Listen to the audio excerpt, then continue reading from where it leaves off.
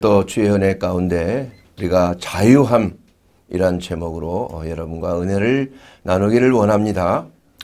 어, 미국의 유명한 어, 정치가가 있습니다.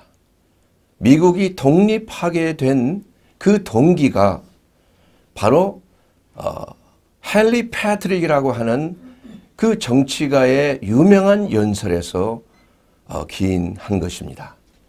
그가 미국 시민들을 향하여 이렇게 부르짖으며 말했습니다. 미국 시민들이요. 이제 우리는 굴종과 억압과 노예에서 우리는 자유로워야 합니다. 우리는 이 자유를 얻기 위하여 싸워야 합니다. 지금 우리가 듣고 있는 것은 그 억압의 쇠사슬, 노예의 쇠사슬이 보스턴 들판에 울려 퍼지고 있습니다. 우리가 언제까지 이러한 굴종과 억압의 사슬 소리를 듣고 살아야 합니까? 우리는 자유를 위해 싸워야 합니다. 참으로 평화, 평화를 외치는 사람도 있습니다. 그러나 우리에게는 바로 우리의 목숨을 부지하기 위해서 억압과 노예의 그러한 쇠사슬 소리를 듣고 목숨을 연장하기 위해서 그러한 삶을 살아야 합니까? 우리는 하나님께 기도합니다. 하나님이여 이제 이 우리의 미국을 자유롭게 하옵소서. 저는 많은 사람들이 어떠한 선택을 하고 있는지 모르지만 저는 이렇게 선택했습니다. 자유가 아니면 죽음을 달라. 이 명언을 그가 함으로 인해서 미국의 독립전쟁이 시작이 되었고 결국은 그 전쟁에서 영, 영국 군대를 패퇴시킴으로 말미암아 미국은 자유민주주의 국가로서 세계 가장 강대국으로 발돋움하게 된 것입니다. 유명한 미국의 건국의 아버지인 벤자민 프랭클린 참 존경하는 분이죠. 100달러 지폐에 이렇게 나와 있는 그런 분입니다. 그분은 이렇게 말했습니다. 인간의 근본적인 자유를 얻지 못하고 그 자유를 얻지 못하는 싸움을 하지 못하는 사람은 자유와 안전을 누릴 그러한 권한이 없다. 이렇게 말했어요. 아주 근본적인 이 자유를 우리의 삶 속에 누리는 것 이것이야말로 우리 하나님께서 하나님의 형상으로 지음을 받은 우리 인간의 존엄성 하나님의 형상으로 지음받은 인간의 존엄성에 대한 외침인 것입니다. 그래서 오늘 이 말씀을 통해서 우리가 진정한 자유함이라는 것은 무엇을 의미하는 것인가? 여러분 3.1운동의 제1공약 일제의 한거에서 독립운동을 했던 3.1운동 그 제1공약이 바로 생존과 영광을 갈망하는 민족 전체의 요구이자 오직 자유의 정신을 발휘할 것이요 라고 이렇게 선언을 한 것입니다. 1948년 8월 15일 대한민국 건국을 이룰 때 이승만 대통령이 그 건국 취임사에서 이렇게 선언을 했습니다.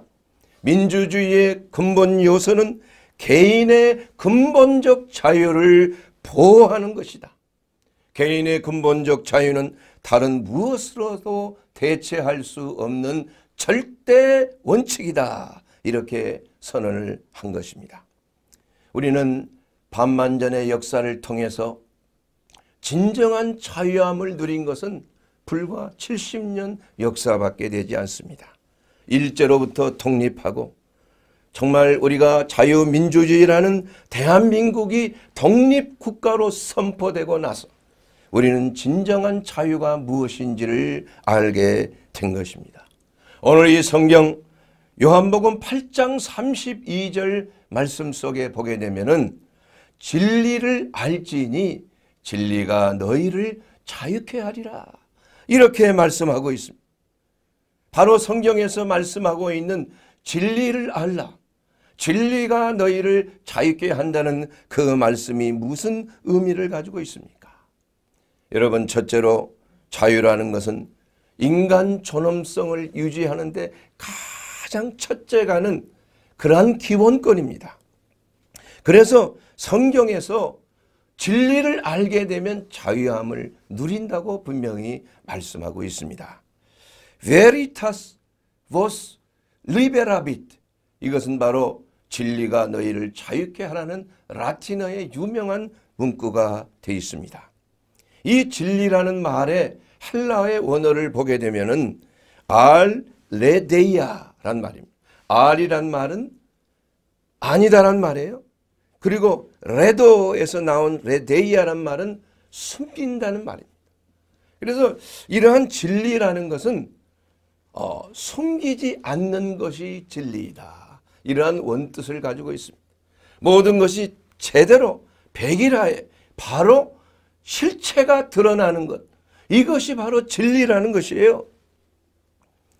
또한 자유함이라는 것은 엘유대로서 이 빛을 탕감하다라는 문자적인 의미를 가지고 있습니다. 그래서 진리가 어, 자유케 한다는 그 말은 모든 숨겨진 실체가 드러나서 자유케 된다. 해방이 된다. 이것이 바로 진리가 우리를 자유케 하는 것입니다. 이 말씀을 통해서 우리는 어, 정말 하나님께서 우리에게 주신 가장 기본적인 권리, 이 자유의 권리, 또한 우리 자유민주주의 대한민국에서 어, 말하고 있는 자유와 이 평등, 이 두 가지의 그 위대한 사상, 이것은 바로 어, 우리 인간 개인이 최대한 많은 사람들이 행복을 누릴 수 있는 그러한 어, 참 자유민주주의 체제가 된다는 것입니다. 그러면은 사람들은 이렇게 말합니다. 자유와 평등이 과연 공존하기가 어렵지 않는 것인가? 자유를 주장하다가 보면은 평등이 조금 모자라게 되는 것 같고 평등을 또한 중요하게 여기다 보면은 어, 자유가 좀 침해를 받지 않는 것인가? 뭐 이런 것으로 인해서 사실 우파와 좌파 간의 여러 가지 이러한 문제를 가지고 우리나라에 지금 시끄럽게 되는 이유가 바로 거기에 있습니다. 이것은 우리가 자유에 대한 진정한 의미를 잘 모르기 때문이에요. 그리고 평등의 의미가 과연 무엇을 의미하는지를 우리가 잘 모르기 때문에 이러한 분열이 일어나고 있는 것입니다. 어, 사랑하는 여러분, 어, 자 문재인 대통령께서 어, 어, 취임할 때 뭐 이런 말을 들은 적이 있습니다. 어, 어 맞는 말인지 모르겠습니다만은 어, 선택은 자유롭고 기회는 균등하고 결과는 공정해야 된다. 이 참 맞는 말인 것 같아요. 예. 그런데 우리가 이 자유와 평등에 대한 어, 이 균형을 우리가 상실하게 되면은 진정한 자유민주주의의 체제가 분열될 수가 있는 거예요. 그래서 자유라는 것은 뭘 얘기냐 하면은 선택의 자유입니다. 어느 누구나 자유스럽게 내 자유 의지로 바른 선택을 할 수 있는 자유를 가지는 거예요. 음?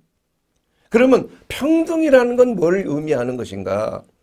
이 평등이라는 것은 결과에 대한 평등이 아니라 기회가 균등하게 나누어진다는 거 말이에요. 누구든지 기회를 기회가 있으면은 신분과 종교와 성별과 모든 사상을 초월해서 그 기회가 균등하게 주어지는 거. 이것이야말로 진정한 자유민주주의의 바른 사상관인 것입니다. 그렇기 때문에 선택의 자유가 바로 서 있고 또한 누구든지 기회가 있으면은 그 기회를 균등하게 예, 차지할 수 있는 그러한 사회가 형성이 되는 거예요. 그리고 결과는 어떻게 됩니까? 공정해야 되는 것입니다. 결과가 평등하면 안 되는 거. 이건 사실 성경적으로 봐서도 전혀 맞지 않는 것입니다. 그런데 평등을 주장하는 사람은 결과가 모두가 평등해야 된다고 생각을 하고 또 자유만을 주장하는 사람은 뭐 평등과는 전혀 상관없이 인간의 개인적인 자유는 어떤 경우에도 침해되지 아니한다는 그러한 또 슬로건을 가지다 보니까 이게 부딪히는 거예요. 여러분 미국의 근본 이념인 자유와 평등 그 자유민주주의 우리나라의 그러한 자유민주주의의 그러한 그 사관도 마찬가지입니다. 우리가 선택에 있어서 누구든지 금수저나 흙수저나 어? 우리가 무엇을 하든지 참 노력해서 참 기회를 균등하게 가지고 열심히 노력하면은 개천에서 그야말로 용이 나는 그러한 사회 코리안 드림 아메리칸 드림을 형성할 수 있는 그러한 나라가 진정한 민주 국가로서의 그 자유와 평등이 균형을 잡는 국가가 될 수가 있는 것입니다.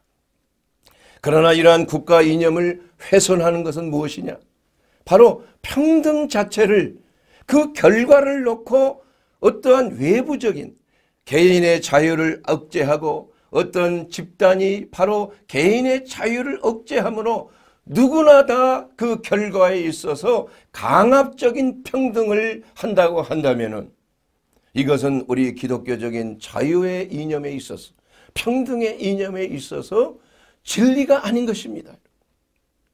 그래서 진리 안에 진정한 자유함과 평등이 있다는 사실을 우리는 분명히 알아야 되는 것입니다. 또한 이러한 것을 통해서 우리의 삶 속에 성경의 달란트의 비유를 우리는 들어볼 수가 있습니다. 하나님께서는 어느 누구에게나 다 평등하게 달란트를 주시지는 않았어요. 어떤 사람은 한 달란트 준 사람도 있고 어떤 사람은 다섯 달란트, 어떤 사람은 두 달란트 준 사람이 있어요. 그것은 인간의 유전자를 통해서 어떤 사람은 그 공부를 잘할 수 있는 그러한 DNA를 타고난 사람, 어떤 사람은 기술의 DNA를 타고난 사람이 있어요. 또 어떤 사람은 예술적인 탁월한 이러한 그 달란트를 타고난 사람이 다 있는 것입니다.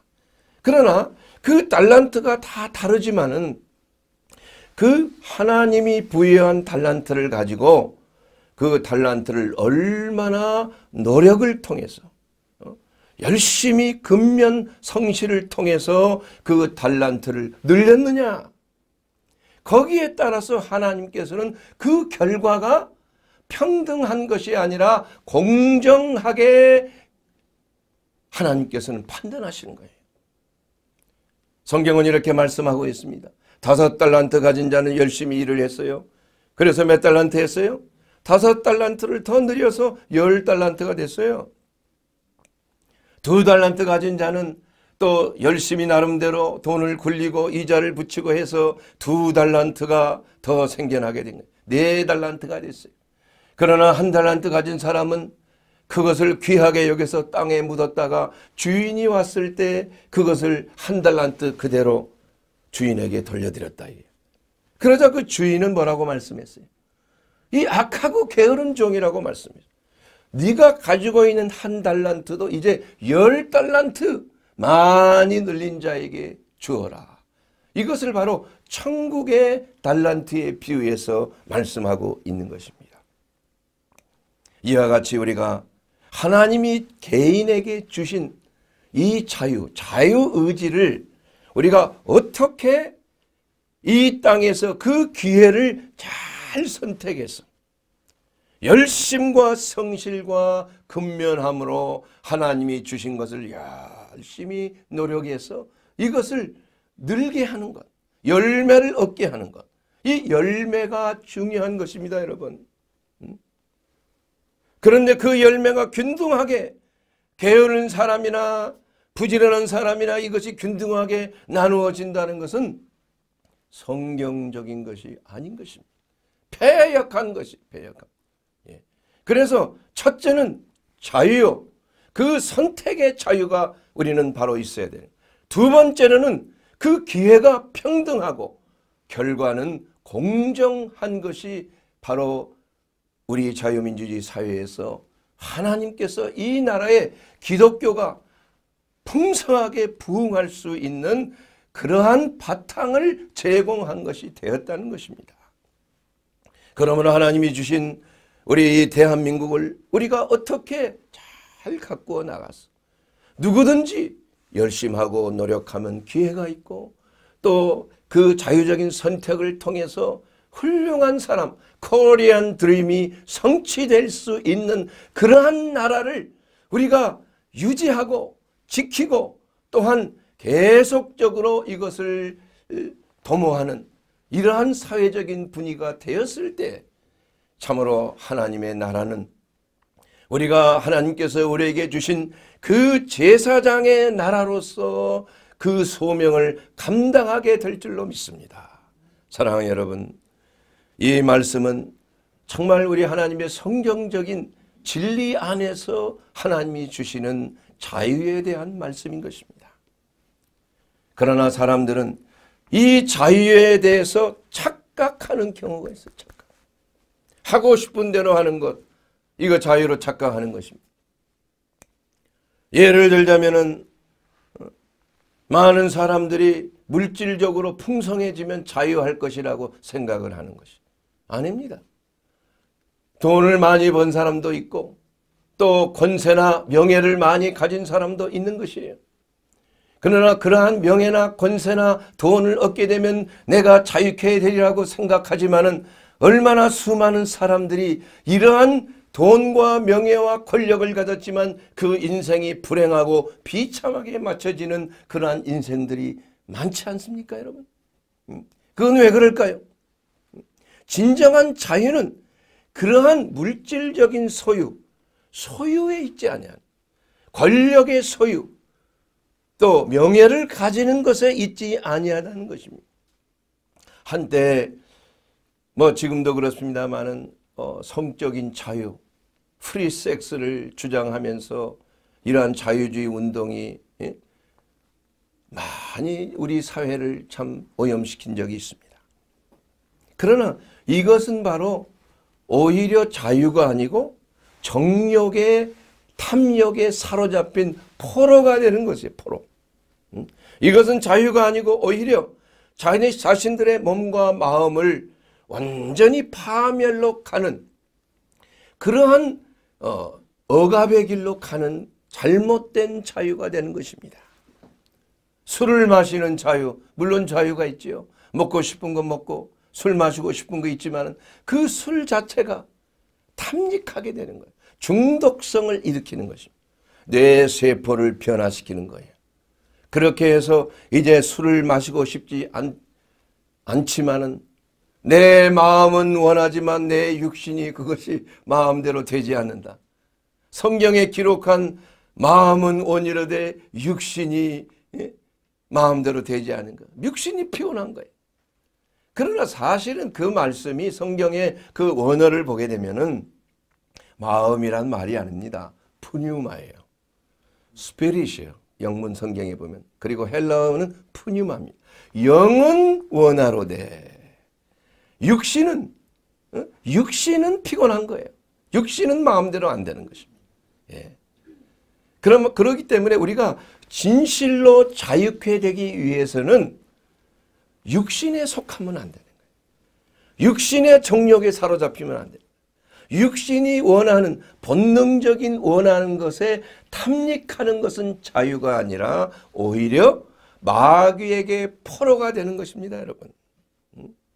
정욕의 포로가 되고 탐심의 포로가 되고 거짓의 포로가 되고 그래서 마귀가 원하는 결국은 도적질 당하 재산이 도적질 당하고 가정이 도적질 당하고 또한 어, 지위가 직장에 직장이 깨어지게 되고 사업이 깨어지게 되고 이 도적질 당하는 거예요. 예. 이러한 정력과 탐립에 사로잡히게 되면 평정을 상실해 예. 하나님의 인도하심에서 벗어나게 되는 거예요. 예. 그렇게 된 그 결과는 육체적이고 영적인 파멸을 가져올 수밖에 없는 것입니다. 여러분 같은 죄를 지속적으로 알면서도 또 회개하고 또 죄짓고 또 회개하고 이것은 사실은 죄책감에 사로잡힌 게 아니에요. 그건 거짓된 죄책감, 거짓된 회개입니다, 여러분. 진정한 회개를 하게 되면 더 이상 그 죄를 재범할 수가 없어요. 왜냐? 회개는 내 자신을 파괴시키는 거예요. 내 자아를 십자가에 넘기는 것이에요. 너무 고통스러운 것입니다. 아무리 인간의 육신의 탐욕이 강하다 할지라도 죽는 것보다 더 강할 수는 없는 거예요. 그래서 예수님께서도 말씀하시되 내 눈이 너를 범죄케 하면 내 눈을 찍어내 버리라고 그랬어요. 내 손과 내 발이 범죄케 하거든 내 손과 발을 찍어내 버리라. 손과 발을 가지고 눈을 가지고 지옥에 들어가는 것보다 눈 없이 발 없이 손 없이 천국에 가는 것이 더 낫다 이거야. 이와 같이 우리 주님 진리 되신 예수님께서 말씀하신 그 자유함이라는 것은 뭐냐? 이러한 정욕의 본능에서 육신적인 본능에서 우리의 바로 natural 그러한 자연적인 본능에서 우리가 자유함을 누리는 것이에요. 어떤 사람은 또한 욕을 하지 않고서는 말이 안 되는 사람들이 있어요. 말끝마다 욕지거리가 나오는 거예요. 나중에 보면. 그것도 뭐냐? 하나님의 말씀에 더러운 말을 너 입 밖에도 내지 말고 오직 덕을 세우는데 소용되는 대로 선한 말을 하여 듣는 자에게 은혜를 끼치게 하라. 에베소서 4장 29절에 있는 그 말씀이 되는 것입니다.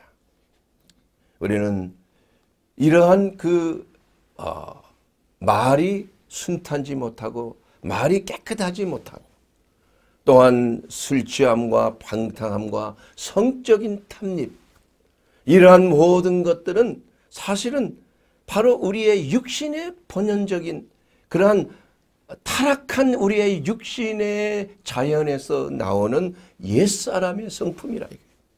근데 이러한 옛사람의 성품은 누구에게 속했습니까? 마귀에게 속했다고 그랬어요.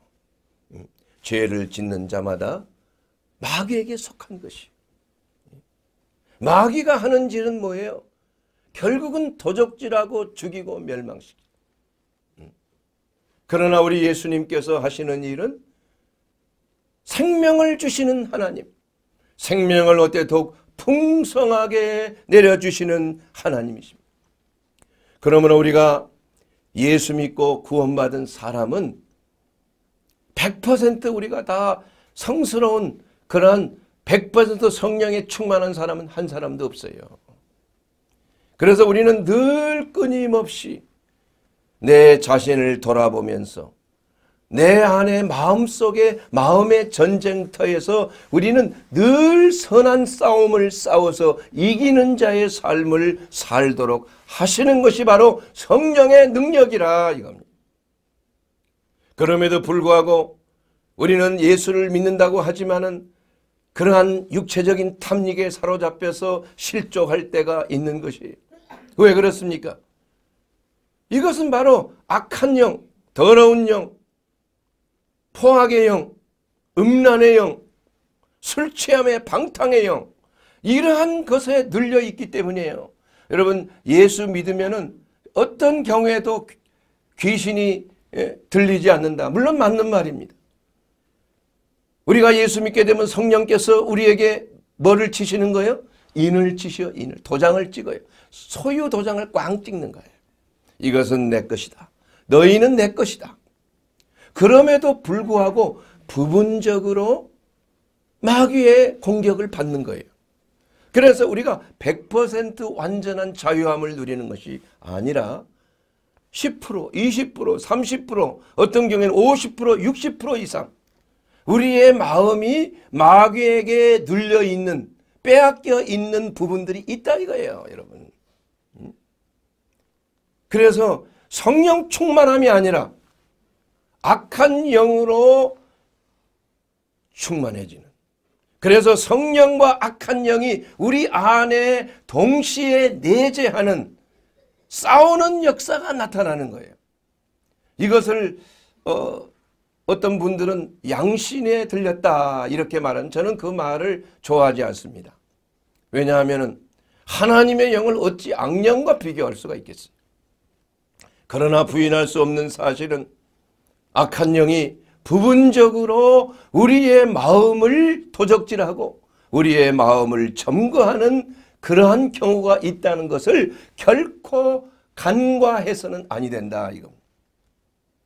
우리는 완전히 자유롭게 된다는 것은 우리가 매일매일 영적 전쟁에서 승리할 때 우리는 자유함을 누릴 수 있는 거예요.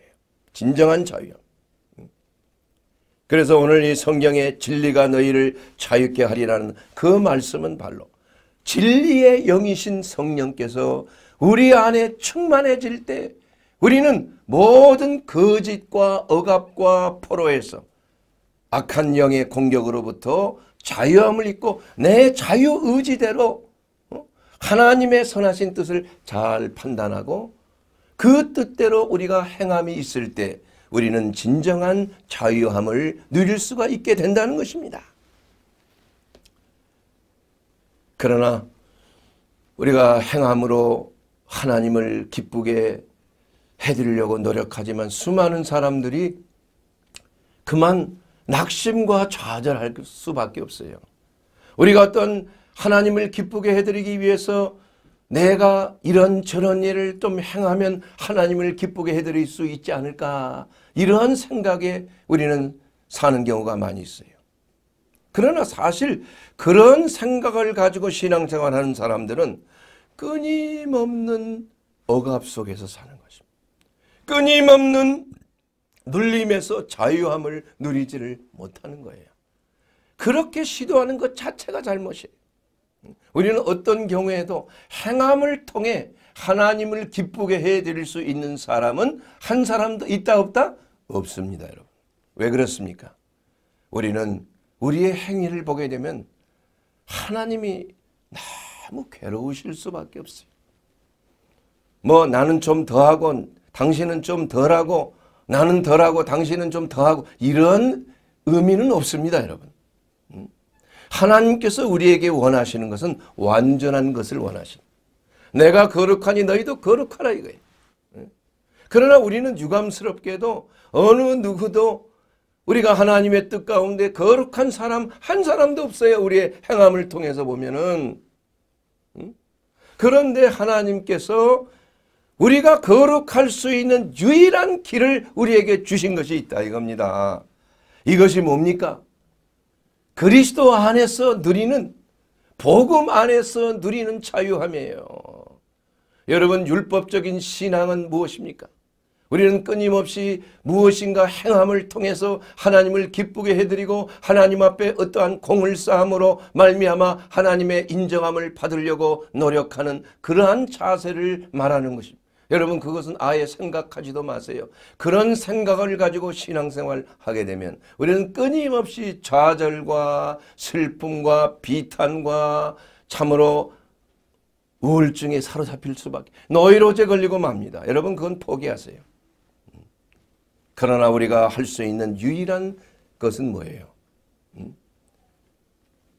결혼에, 결혼에 대한 예화를 하나님께서 들은 적이 있어요. 한 남편과 결혼했는데 그 남편이 너무 요구사항이 많아. 그래서 회사에 출근하기 전에 1부터 10까지 그냥 이것저것 저것 저것 저것 해서 다 적어놓고 이것을 하라고 어, 명령하고 회사에 가는 거야. 부인은 집에서 그것을 조목조목 하면서 그것을 지키기 위해서 애를 쓰는 거야. 그리고 남편이 돌아와서 그 내가 준 조목 자 갖고 와보세요. 자 이거 잘했습니까? 이거 잘했습니까? 이거 항상 모자라는 게 있어 항상. 그런데 그 남편이 갑자기 사고로 세상을 떠났어요.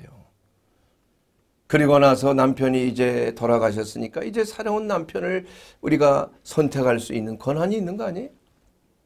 새 남편이 왔는데 그 남편은 너 이런 명령과 이런 계명이 하나도 없어. 어, 그저 난 부인을 사랑합니다. 그리고 정말 그 마음에 진정한 자유함이 있는 거예요. 음. 나중에 우연히 방을 청소하다가 저 장 밑에서 어떤 쪽지 하나를 발견했는데 과거의 남편이 자기에게 계명을 이것저것 하라고 했던 그것을 보고 있는 거죠. 그때 남편이 과거의 남편이 살아있을 때와 지금의 남편이 살아있을 때를 비교해 볼 수가 있어. 그러니까 보니까 내가 과거에 했던 것보다 더 완벽하게 오히려 완전하게끔 그렇게 했더라 이거야. 이것이 바로 율법에서의 자유함이에요. 우리가 율법에 매여 있으면은 그 율법의 정죄함을 받고 그 율법의 폭력을 받고 율법의 심판을 받아서 끊임없는 억압과 낙심과 좌절 속에서 우리가 신앙의 자유를 누릴 수가 없어요. 그리스도의 평안을 누릴 수가 없는 것입니다.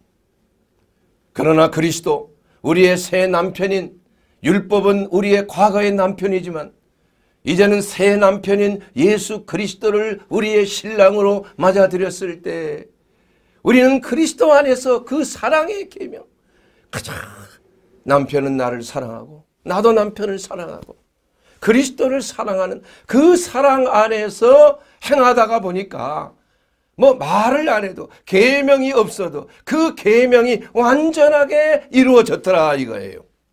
이것이 바로 사랑이 나를 강권한다는 사도 바울의 그러한 고백처럼 우리가 예수 그리스도를 사랑하면 우리의 몸과 마음을 온전히 헌신할 수가 있는 그러나 그 헌신은 자유로운 선택의 헌신입니다.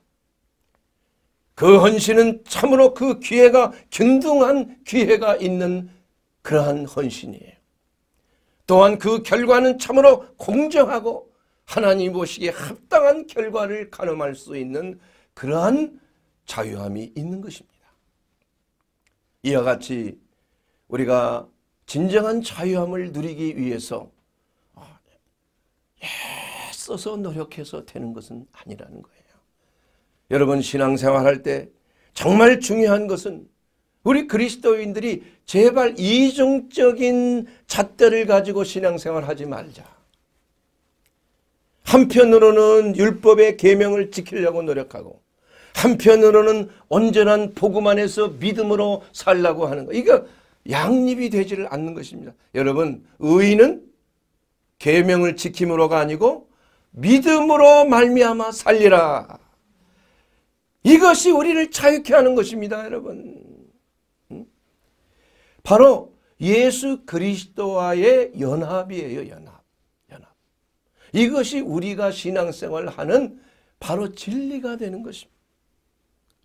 우리는 어떠한 내 일을 행함으로 인해서 예수님을 기쁘게 해드리려고 하지 마세요. 그건 맞지 않습니다. 내가 그리스도와 한 몸을 이루고 한 마음을 이루고 한 뜻을 이루고자 노력해서요. 그 노력은 반드시 해야 하는 것입니다. 왜냐? 주님을 사랑하기 때문에. 여러분 사랑하는 사람이 있으면 하지 말라고 그래도 그 사람의 뜻이 무엇인지 늘 생각하고 그 사람에게 참내 어? 마음이 합한 사람이 되기 위해서 우리는 노력하는 것입니다. 그래서 예수 안에서 내 자신을 죽음에 넘기는 거예요. 십자가에 넘기고 내가 그리스도와 함께 십자가에 못 박혔나니 이제 내 안에 내가 산 것이 아니요 예수 그리스도께서 사신 것이라고 그랬어요. 이제 내가 사는 것은 나를 위하사 십자가를 지시고 자신을 죽음에 넘기신 예수 그리스도를 믿는 믿음 안에서 사는 것이 바로 우리 그리스도인의 삶이 되는 것입니다. 주님을 사랑하십니까? 그렇다면 주님을 사랑함으로 우리가 주님 앞에 헌신할 때 율법의 완성은 이루어지게 되고 그리스도와 연합이 이루어지게 되는 것이에요. 율법을 지키려고 하지 말고 우리의 신랑 되신 예수 그리스도의 사랑 안에서 하나 되기를 노력하는 삶. 그것은 사랑의 마음이 있기 때문에 내 마음속에 거룩한 사랑의 소원이 있기 때문에 내가 좋아하는 사람, 내가 사랑하는 사람은 한시라도 같이 있고 싶어하고 그가 원하는 것을 하고 싶어하고 내 몸과 마음을 다 주고 싶어하는 것이 바로 사랑하는 자의 특징 아니겠어요? 우리가 신앙생활 하는 게 바로 이런 것이에요. 여러분, 교회를 왜 나옵니까? 왜 11조를 왜 바칩니까? 왜 새벽 기도 왜 나옵니까? 혹시 하나님께서 벌 줄까 봐? 11조 안 내면 뭐 사업에 망할까 봐? 그게 아니에요. 그런 마음을 가지고 신앙생활 하지 말라. 주님을 사랑하기 때문에. 주님이 기뻐하시는 무엇인지를 알기 때문에. 그분에게 내 마음을 전달하고 싶, 주님 사랑합니다. 나를 사랑하는 자는 나의 계명을 지킨다고 그랬어요. 내 말을 지킨다고 그랬어요. 왜냐? 사랑하기 때문에. 이것이 근본적인 자유의 근본이에요. 원칙입니다. 신앙적인 자유, 진리가 너희를 자유케 한다는 하나님의 말씀의 근본 원리가 되는 것이에요. 사랑하는 여러분, 율법을 지키려고 한다면 우리는 율법의 노예가 되는 것입니다. 정죄함 밖에 없어요. 그러나 우리 안에 계신 예수 그리스도 그분이 내 안에 계시면 우리는 그분의 인도하심에 따라서 자동적으로 성령의 감동을 받아서 그분이 원하시는 것을 하게끔 되어 있다. 이거야. 여러분 옛말에 과거에 한번 제가 이 말씀을 비유로 전한 적이 있습니다. 여자 팔자는 디웅박 팔자다 이런 말이 있어요. 여러분 박을 아시죠? 그러면 박을 쪼개는 것이 아니라 위에 손, 손이 들어갈 만한 구멍을 뚫고 그 속에 필요한 것들을 넣어두는 거예요. 부자 집에 가면은 쌀이 그 속에 가득 차 있고 가난한 사람 쪽에 가면은 그 속에 옥수수나 보리나 뭐 이런 것들이 들어있고 여물이 들어있고 예? 그래서 그 디용박의 그 가치는 그 속에 무엇이 들어있는가 여기에 따라서 그 디용박이 얼마나 귀한 것인가 천한 것인가를 가려지는 것입니다. 우리는 질그릇 같아요. 이 질그릇 같은 우리 안에 놀라우신 예수 그리스도의 보화가 우리 주님이 우리 안에 거하신다면 여러분은 얼마나 귀한 사람입니까? 여러분 하나님의 자녀가 되지 않았습니까? 여러분 어느 누가 여러분을 억압하겠습니까? 왕자와 공주를 누가 억압하겠습니까? 왜냐 왕자는 바로 하나님의 후계자가 왕의 후계자가 될고 나중에 왕이 될 수 있는 사람이에요. 공주도 마찬가지입니다, 여러분. 그러기 때문에 우리가 우리 안에 하나님께서 우리에게 주신 놀라운 능력이 있다고 성경은 말씀하고 있습니다. 바로 베드로후서 1장 3절에 보게 되면 그의 신기한 능력으로 생명과 경건에 속한 모든 것을 우리에게 주셨다고 그랬어요. 이는 자기의 영광과 덕으로 우리를 부르신 이를 알므로 말미암습니다. 생명과 경건에 속한 모든 능력을 우리에게 주셨다. 예. 이것은 바로 신의 성품에 참여하는 그러한 하나님의 성품을 우리에게 주신 것입니다. 우리는 어떠한 노력을 통해서 어떠한 도를 닦고 어떠한 수행과 어떠한 고행을 통해서 우리가 어떠한 거룩한 사람이 되는 거 아닙니다. 진리가 우리 안에 들어오면 되는 것이에요. 진리는 어떠한 깨달음으로 오는 것도 아니요 어떠한 금식 고행을 통해서 도를 깨닫게 되는 것이 진리가 아니라고 그랬어요. 진리는 바로 받아들이는 것입니다. 바로 내가 진리요 길이요 생명이에요. 예수 그리스도를 진리로 여러분의 마음의 구주로 여러분의 개인적인 하나님으로 받아들이면은 그 진리가 여러분 안에 들어와서 여러분을 자유케 하는 것이 얼마나 쉽습니까, 여러분? 그러기 때문에 애쓰지 말라는 얘기예요. 여러분 율법을 지키고 계명을 지키기 위해서 애쓰는 삶은 반드시 실패하는 삶입니다. 그걸 버리세요. 무엇을 원합니까? 주님이 주시는 신기한 능력을 소유하게 되기를 바랍니다. 주님은 그것을 주시기 위해서 우리에게 성령을 부어주셨어요. 성령과 불로 침례를 우리에게 주셨습니다. 그래서 너희는 믿을 때 성령을 받았느냐? 여러분 성령 받지 아니하고 신앙생활하면은 그 안에 능력이 있을 수가 없어요. 내가 과거에 성령을 받았으니까 오늘은 내가 받을 필요가 없다 이게 아닙니다. 우리는 매일매일 재충만을 받아야 되는 거예요. 마치 배터리가 그것이 시간이 되면은 그 소진되듯이 우리는 하나님 앞에 기도하며 하나님이 우리에게 베드로후서 1장 3절에 언양하신 그의 신기한 능력, 생명과 건강에 속한 모든 것을 우리에게 주시는 그 능력으로 매일매일 우리는 하나님의 신비한 능력으로 충만함을 받아야 한다는 것입니다. 바로 이것이 믿음의 덕을 덕의 지식을 지식의 절제를 절제 인내를 인내의 형제 우애를 형제 우애 또한 그리스도의 사랑을 공급하는 신의 성품 이 여덟 가지의 신의 성품에 참여하는 능력이 우리의 노력으로 된 것이 아니에요. 하나님이 주신 선물입니다. 예수 그리스도 안에 거하는 자에게 이 세상을 이기고 원수를 이기고 죄를 이기고 내 자아를 이길 수 있는 놀라운 능력이 공짜로 얻어지는 거예요 여러분 예수 믿는 자에게 하나님의 성령을 사모하는 자에게 여러분 그렇게 되면 여러분 노력하지 아니하도 힘들지 않아도 하나님의 성령의 충만함을 받게 되면 여러분의 삶 속에 죄를 이기게 되는 놀라운 능력이 여러분 안에 거하게 되는 것입니다. 신의 성품에 참여하게 되는 것이에요. 그러므로 큰 집에는 금그릇과 은그릇뿐만 아니라 나무 그릇고 질그릇도 있어 귀하게 쓰는 것도 천하게 쓰는 것이 있나니 그러므로 누구든지 이런 것에서 자기를 깨끗게 하면 귀히 쓰는 그릇이 된다는 거룩하고 주인의 쓰심에 합당하며 모든 선한 일의 준비가 된다는 것입니다. 우리가 추구해야 될 건 무엇입니까? 거룩함이에요. 성결함입니다.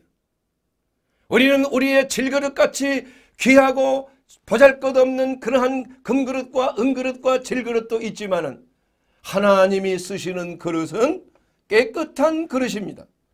금그릇이라고 쓰는 건 아니에요. 금그릇이 더러워지면 쓰실 수가 없어요. 그러므로 우리는 매일매일 우리의 삶 속에서 내 자신을 돌이켜보면서 그리스도와 연합한 삶, 여러분 주님을 사랑하십니까? 주님을 사랑한다면 주님과 연합하는 삶, 주님과 사랑을 나누는 삶, 주님과 대화하는 삶, 주님과 동행하는 삶, 주님의 음성이 들려지는 곳에 있는 삶, 그곳이야말로 가장 안전하고 보장되고 자유스러운 삶이 되는 줄로 믿습니다. 진리가 여러분을 자유케 하는 것이에요. 그러므로 사랑하는 여러분, 예수님은 왜 오셨습니까? 바로 우리로 하여금 자유케 해 주시기 위해서 오신 줄로 믿습니다. 여러분 마귀 하는 일은 무엇입니까? 우리로 하여금 정말 죄를 짓게 하는 것이 마귀에게 속한 일이라고 그랬어요. 우리에게 의심과 반항과 두려움과 불화와 탐욕과 죽음 이 여섯 가지의 그 일을 행하는 것 바로 마귀의 일이에요. 예수님이 우리에게 오셔서 하는 일은 이 의심과 반항과 탐욕과 또한 어? 분열과 죽음 이러한 것들을 멸하러 오신 것이에요 여러분. 예수님이 오시면 신뢰하게 됩니다. 하나님을 믿게 되는 거예요. 예수님이 오시게 되면 참으로 하나님과 연합하게 되는 것입니다. 반항에서 순종이 되는 것이에요. 예수님이 우리 가운데 오게 되면 죽음에 두려워 떠는 자들이 이제는 그리스도 안에서 평안을 누리게 되는 것이 예수님께서 우리 가운데 오시면 하나님과 연합하게 되어 불화에서 해방돼요. 바로 평강의 왕이시요 평강의 재물 화목제물로 오신 우리 주 예수 그리스도의 은혜로 하나님과의 불화에서 우리는 자유함을 입게 되는 것입니다. 또한 우리의 모든 탐닉, 성적인 탐닉, 돈에 대한 탐닉, 또한 모든 재물에 대한 또한 명예에 대한 탐닉 이러한 탐닉에서 자유케 돼요. 절제가 있어요. 또한 죽음으로 이르는 모든 질병, 각색 질병. 여러분 이 질병에서 자유케 되는 것입니다. 죽음에서 자유케 되는 것이에요. 영원한 죄에 대한 형벌에서 자유케 된다는 것입니다. 그러므로 사랑하는 여러분, 너희가 믿을 때 성령을 받았느냐? 아직 성령 받지 못한 사람은 예수 그리스도를 나의 하나님, 나의 구주로 영접해야 돼요. 진리는 영접함으로 오는 것입니다. 진리는 어떠한 깨달음으로 오는 것이 아니에요. 진리는 내 안에 들어옴으로 인격적인 들어옴으로 내 안에 거함으로 진리가 역사하는 것입니다, 여러분. 진리는 내 자신이 아니에요. 내 자아가 아닙니다. 진리는 바로 예수 그리스도이신 것입니다. 그러므로 예수님이 내 안에 오셨을 때 진리의 영으로 우리를 인도함을 받아서 우리는 더 이상 반항과 불순종에서 자유함에 되고 또한 질병과 또한 불화에서 불안과 염려와 초조에서 우리는 자유함을 입게 되는 것입니다. 예수 그리스도의 생명이 우리 가운데 들어와 우리로 하여금 참으로 자유함을 누리게 되는 줄로 믿습니다.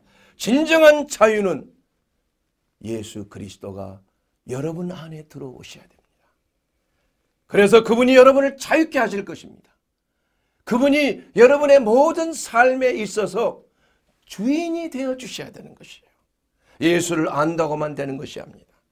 예수님과 100% 연합하는 삶을 통하여 우리 주님이 주시는 놀라운 은혜가 바로 누가복음 5장 15절과 누가복음 6장 17절에 있는 말씀대로 예수님 앞에 온 자들은 말씀도 듣고 진리 안에서 말씀도 듣고 병도 고침을 받았어.